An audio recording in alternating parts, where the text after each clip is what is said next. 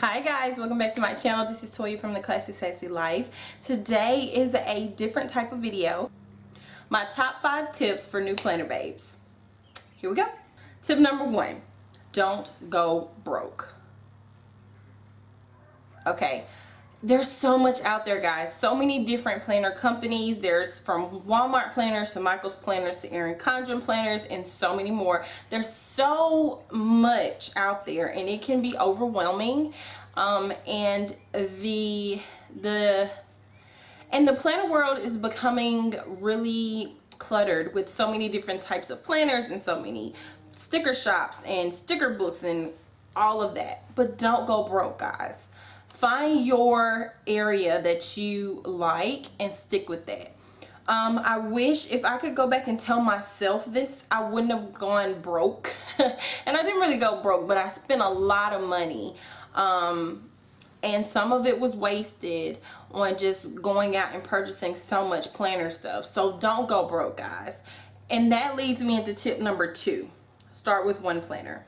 I started with five I think. Yeah, I had two minis, two classic size, and one large planner. Um, and I ended up only using two of those planners on a regular basis, which was my mini, which I call my personal planner. And I use my teacher planner because I'm a teacher and I love planning in my planner. I love having it out on my desk. Um, I use some things that I DIY'd and I will leave links to all of these videos um, down below but I only ended up using two and if I wasn't a teacher I probably would have ended up only using one. So start with one planner and see where there's a need for another planner before you go out and just purchase five and don't use it. Because the thing about planners guys especially those that are dated that's just it. They're dated. So if you get a 12 month planner and you don't use it at all and it's October and it goes out in December you wasted a lot of money. So just make sure that you start with one see the need for two or three and then progress from there. Function over fancy. That's tip number three guys. What I mean by that is know what you're getting ready to write down. Know when you need a checklist. Know when you need to put an appointment down um, before you just start putting all of your decorating stickers on there okay? Um, the whole purpose of a planner is to keep you organized and to keep you um, functioning at your top level. And I just think that sometimes we see all these beautiful spreads on Instagram and watch these plan with me videos and we forget that these ladies who are planning or fellow or fellas um, who are planning in these planners they have lives that they're living guys. And they're just not decorating to be decorating most of the time. 90% of the time all of the things that they're writing down they serve a purpose. So make sure that when you get into this planner life and you get into these paper planner products that you make sure that you're using your planner for what it's meant for and that's to help you function and keep you organized. Um, tip number four pick a style. So that comes in two different categories. So let's talk about the first one. You have a spiral bound planner and you have what's called a disc bound planner I'll talk about disc bound in a minute. Let me cover spiral. These are some examples of spiral bound planners. You have the Recollections and you have Erin Condren.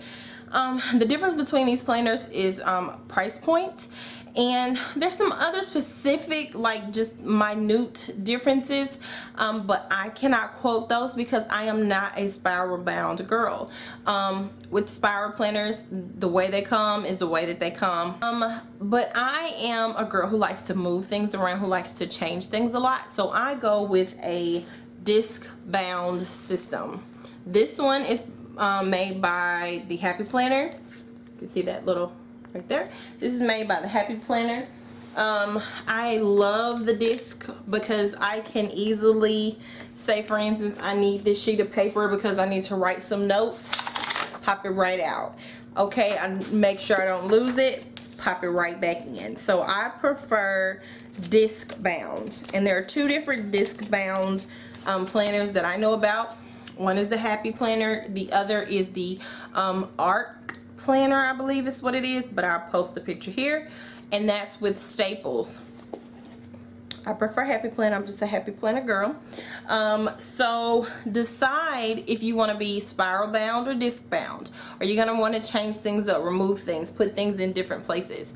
Or are you going to want to keep things where they are? You don't want to do a lot of changing and basically making the planner itself unique to you. Now what I mean by that is Planners come in multiple layouts and just now Happy Planner has created an additional layout for us. Well, two additional layouts. So I'm going to kind of run through the types of layouts that are out there. The main two layouts are vertical and horizontal. So this is a horizontal layout. Then you have your vertical layout and this is a vertical layout. These are your two basic layouts. Decide if you want to plan horizontally or vertically. Vertical planners, um, they are separated, most of them are separated into three. So like you can do a morning, afternoon, evening, or if you're like myself, I use it for my home life and it just covers a lot of things. It covers fitness, it covers meals, and it covers cleaning or things that I need to do at, for my home in that particular in those three areas. Some people use it morning afternoon evening. Other people can use it for something totally different or they only use two sections and completely leave the middle section for decorating. So there's tons of ways to use um, a vertical layout. Me and my big ideas if you don't know who they are they are Mambi the happy planner. Um, Stephanie Fleming is the CEO um, and I will leave a link to their YouTube channel Instagram page down below um, but they created um, the Happy Girl line, which came out with a couple of different layouts. There is the um, hourly layout, and then you have a monthly layout. I love the monthly layout. It is a trendsetter. It is my absolute favorite planner. Um, so far. By like is my love. I absolutely love it. I hope that the the happy planner girl line is coming back out again. Um you know different decor but same kind of layout. I love it. It's it's monthly based. If you have not seen me plan in it i will leave a card here so you guys can see um how to plan it and what it looks like. And then uh, like I said there's the hourly. I don't personally have the hourly. I don't see a need for it. So decide how you want to plan. If you are um, a very busy person you work in a um, business field or anything where you have tons of meetings and you have phone calls to make or or if you are secretary or administrative assistant you need all of these hours to be laid out a certain way I will get an hourly um, I use my monthly for, I use my monthly layout specifically for um, social media, but I'm about to start school and I have not, I have yet to purchase a student edition planner and I'm not sure if I will because I love the way it's laid out. It's daily checklists on there for every single day and I feel like my mind may work better planning that way and I'll let you guys know how that goes when school starts for me in May. Um, so yeah pick a style. Start with one. If you don't like the way that feels do a different one. The great thing about the happy planner line is that it comes with um it comes with extension packs. So if you get a classic size um, but I don't think there's a horizontal classic size extension pack but you can get um, extension packs to just see how you like it. So there is a um, monthly layout extension pack. There's also a hourly layout if I'm not mistaken. So you can grab these additional things. They're undated and you can use them in some way or form. Make it yours guys. Use it for what you need it for. If you purchased it because you're a teacher plan in it teachers. If you purchased it because you want to keep up with the errands that you're running use it okay? Set it up for you. Add folders DIY folders. I know that some there are some additional they have like the spiral bound has a few things that you can add in. Grab those make it yours. Like for my happy planner I have um, I keep six months in my mini and I keep three months of all three planners in my classic. Um, and I keep a dashboard with the current month there. I also keep a folder back here in the back.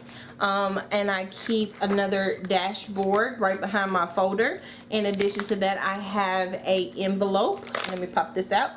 How cute is that? This is where I keep receipts because my personal planner goes with me everywhere. If I don't have it in my purse, it's in my son's diaper bag, his book bag. So I always have it with me and this is where receipts go so I don't have to look for them. So guys, that's going to wrap this up. So I'm going to quickly run back through my top five tips and advice for new beginners for this um, mini series. Number one, don't go broke. Two, start with one planner. Three, function over fancy. Um, you want to make sure that you use it for what you purchased it for. Number four, pick a style, horizontal, vertical, monthly, hourly, disc bound, spiral bound. Pick one. Start somewhere. If you want to use a planner, you got to start somewhere, guys, but start with one. And my last tip, use it. Don't just decorate your planner and have it looking all cute and then don't use it. Don't make a checklist that you never check anything off of use it. I know times get difficult and things get busy and life is hectic, but this will help you as far as organization is concerned. I hope this video was helpful to someone. Please give it a thumbs up if you like this series. I hope you guys really enjoyed this series. I enjoyed making it. I talked a little more than I wanted to, um, but I really enjoyed making this series and I want to do more series like this. So if you're interested in additional series that you would like to see, leave me a comment down down below. Let me know any advice that you would give to new planner babes that I may have missed in this series. I want to hear from you guys and see what you guys think. Thanks so much for um, watching. Please make sure you give this video a thumbs up. Leave me a comment down below. Click the subscribe button and the bell so you don't miss any episodes in this series. Keep God first in everything you do and plan a classy and sassy life, guys. Bye.